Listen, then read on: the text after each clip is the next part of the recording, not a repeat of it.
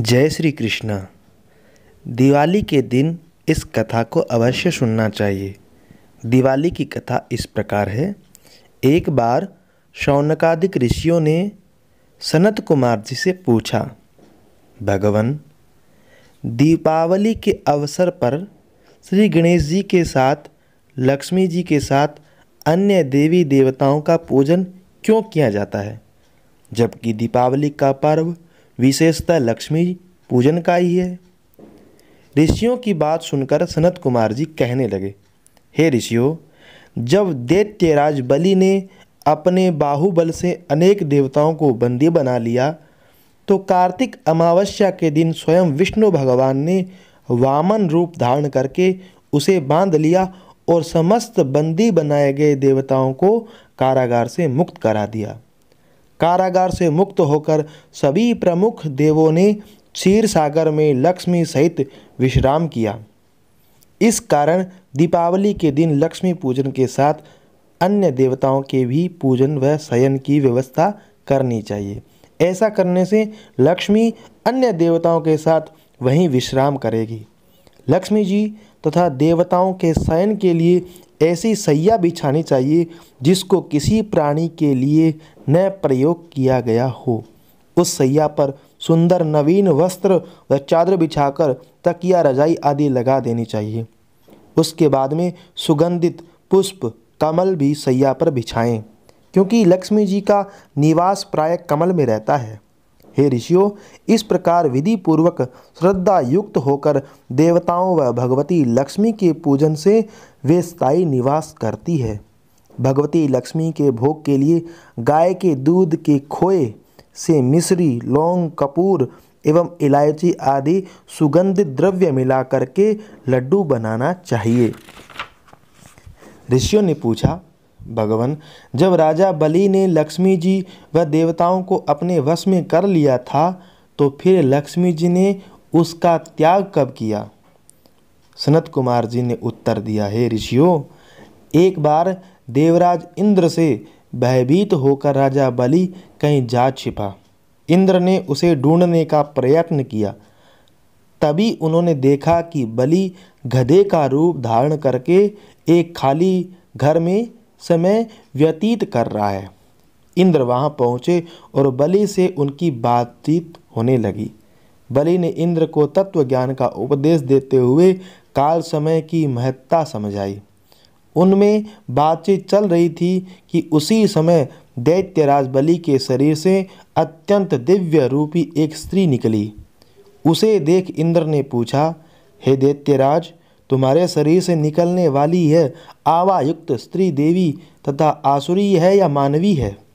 राजा बलि ने उत्तर दिया, राजन, यह देवी न आसुरी है न ही मानवी है। यदि तुम इसके संबंध में अधिक जानना चाहते हो तो फिर इसी से पूछो।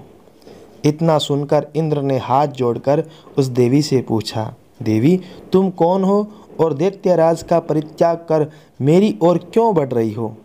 तब मुस, मुस्कुराती हुई शक्ति रूपा स्त्री बोली, हे देवेंद्र, मुझे न तो दैत्यराज प्रहलाद के पुत्र विरोचन ही जानते हैं और न उनके पुत्र बलि जानते हैं।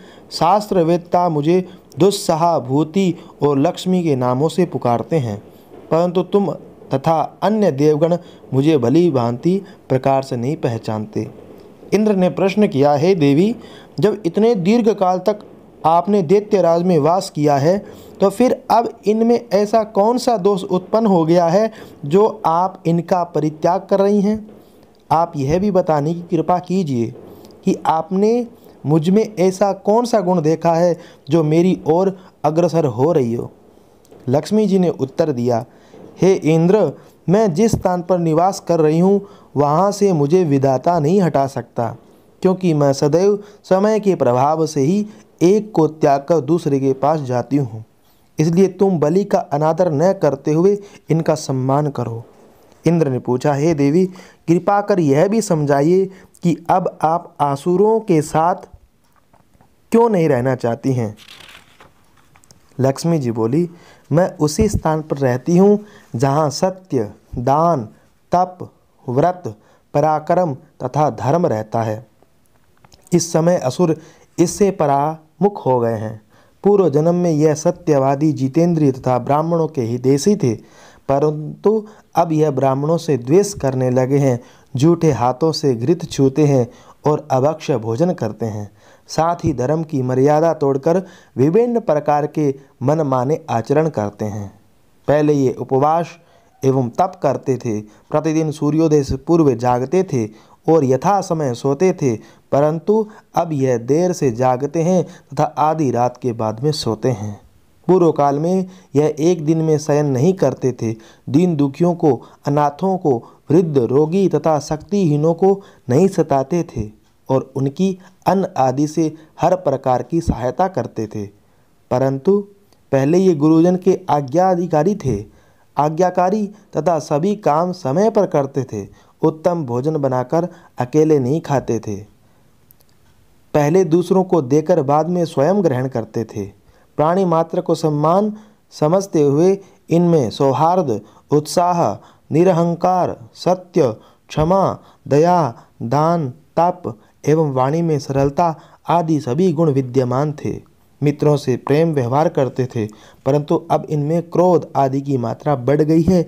आलस्य, निद्रा, असप, अप्रसन्नता, असंतोष, कामुकता तथा विवेकहीनता आदि दुर्गुणों की एकता की बाढ़ इनमें आ गई है। अब इनकी सभी बातें नियम विरुद्ध होने लगी है। बड़े बूढ़ों का सम्मान व आज्ञा पालन न करना उनका अनादर करते हैं तथा गुरुजन के आने पर आसन छोड़कर खड़े नहीं होते।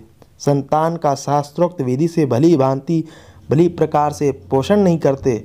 इन सब कारणों से इनके शरीर व चेहरे की कांति क्षीण हो रही है।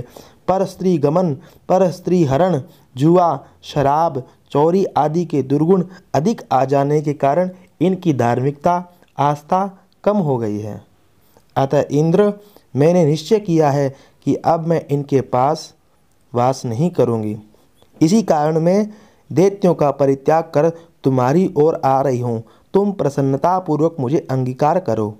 मेरा वास वहाँ होगा जहाँ आशा, श्रद्धा, धृति, शांति, जय, क्षमा, विजित, भावना, संगीत, ये आठ देवियाँ भी निवास करेगी, क्योंकि तुम देवों में अब धार्मिक भावना बढ़ गई है। इसलिए अब मैं तुम्हारे यहाँ वास करूँगी। सनत कुमार जी आगे बोले, अतः हे ऋषियों, जो भी व्यक्ति लक्ष्मी जी को पाना चाहता है, उसे तद अनुकूल ही आचरण करना चाहिए। ऐसी दीपावली की कथा है। तो ये दीपावली की कथा थी। वीडियो को सब लोगों के पास शेयर कर दीजिए और वीडियो को लाइक ज़रूर कर दीजिए। वीडियो देखने के लिए आपका बहुत बहुत धन्यवाद।